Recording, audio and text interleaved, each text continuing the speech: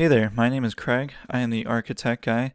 In this video, I'm going to show you how to insert an image into Bluebeam. So there's a couple different ways to do this. You can go up to the tools bar, select markup, most of the way down you'll see image, click from file. Your file explorer will open, simply click the image and hit open.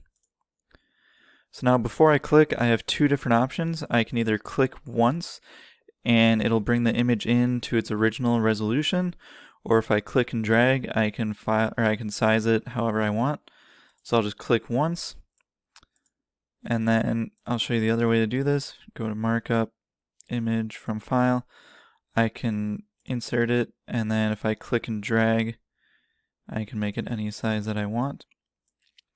So another way I can insert an image, if I go over to the right hand side here, I can select image from the toolbar and it'll bring in the same way.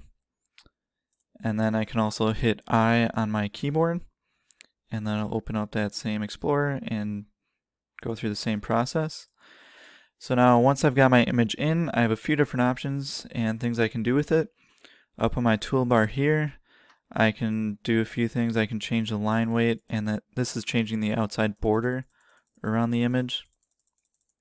I can change the color, change the type of line around it. I can also go over to the properties bar on the right and those same options are there as long as as well as a few others. Uh, I can change the opacity.